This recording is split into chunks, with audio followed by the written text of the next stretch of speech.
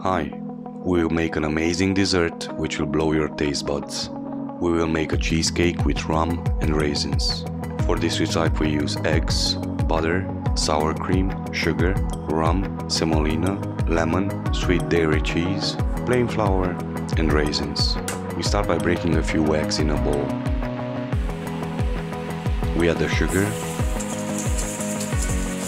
We mix it well to incorporate as much air as possible. We add the sweet dairy cheese. We give it a good mix. We add the sour cream.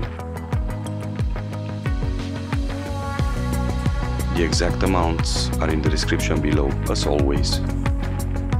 We continue adding the flour slowly while mixing.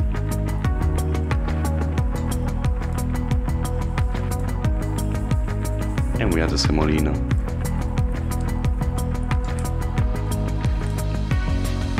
Next we add the butter and we mix it until we get a smooth consistency.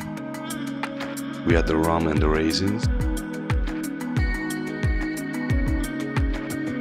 And our batter is ready for baking, so we move on by coating a 12 inch baking pan.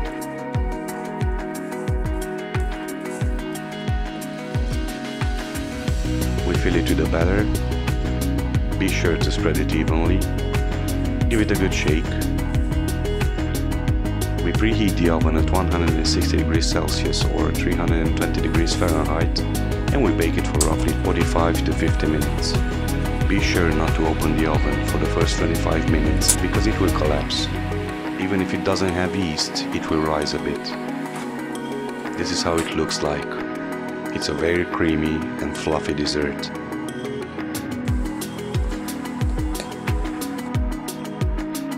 We like to serve it with powdered sugar on top. If you love cheesecake then give it a try and let us know what you think. Don't forget to subscribe, like or leave a comment below. See you next time.